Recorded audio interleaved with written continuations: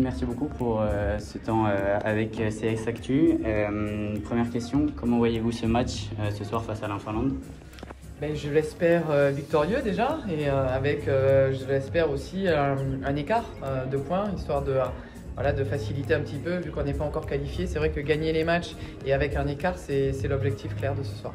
Oui, après la défaite face à l'Ukraine, euh, mission victoire obligatoire ce soir. Exactement, si on veut se qualifier, ça passe obligatoirement par une victoire face à la Finlande. Et après, on verra face à l'Ukraine, mais déjà se concentrer sur la Finlande de ce soir. oui. Ouais. Euh, à titre personnel, vous êtes euh, manager général de l'équipe désormais. Vous combinez ça euh, avec euh, du coup, un statut de joueuse aussi. Comment vous gérez cette situation? Ouais, ça se passe bien. C'est vrai que c'est voilà, je change de casquette un petit peu. Là, je viens, je suis pas sur les terrains à m'entraîner. hein. Je suis là au service de, des filles, du staff, de la fédération. Je suis un petit peu le, lien entre entre toutes ces, ces entités et j'essaye au mieux de faciliter le voilà le la bonne entente et le bon fonctionnement de, cette équipe de France. Et puis, euh, une fois que je j'enlève ma casquette équipe de France, je retourne en tant que joueuse avec mon club de basket. Et qu'est-ce que ça représente pour vous d'être manager général de cette équipe quand on sait que vous êtes la, joueuse avec le plus des sélections Ça doit faire quelque chose?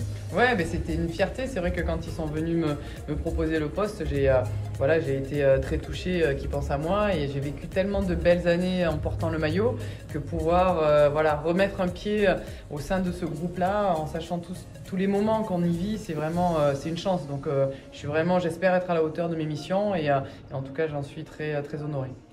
Et du coup, comment vous voyez la, la suite euh, après presque 20 ans dans le basket professionnel? Oh, plus que 20 ans même, Ouais. tu peux le dire. Oui, oui, Ouais. c'est c'est- ça, fait, ça, fait, ça fait peur, mais c'est vrai. Donc euh, voilà, on va pas se C'est mentir. beau. Eh c'est oui, beau. oui, oui, oui.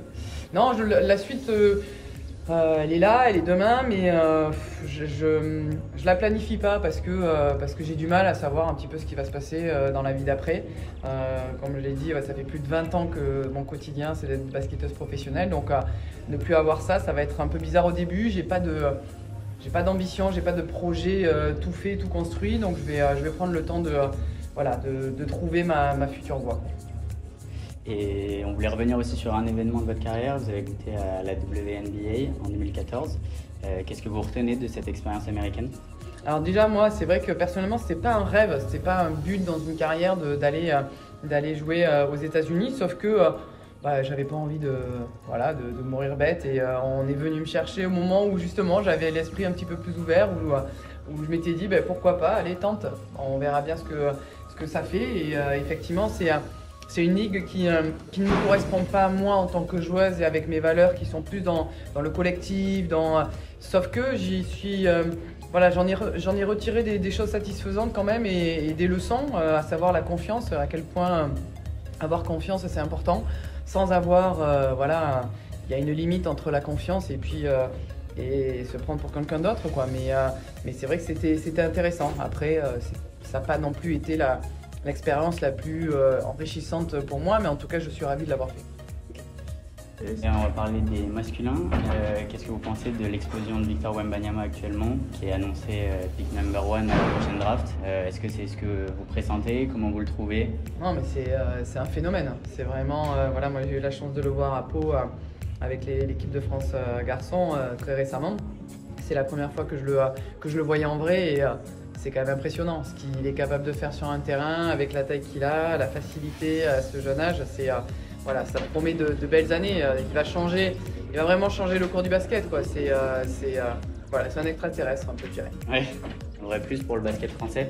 Oui, bah, un vrai plus, oui, parce que quand on a des, des, des sportifs comme ça, des têtes d'affiche comme Tony a pu l'être, les premiers qui gagnent, les premiers qui, voilà, qui, qui donnent une autre dimension au sport, quel qu'il soit, ça, ça fait avancer ce sport-là, quoi qu'il arrive, et ça fait avancer les garçons comme ça va faire avancer les filles. Euh, donc c'est que de bon augure pour, euh, pour notre sport. Super, merci beaucoup.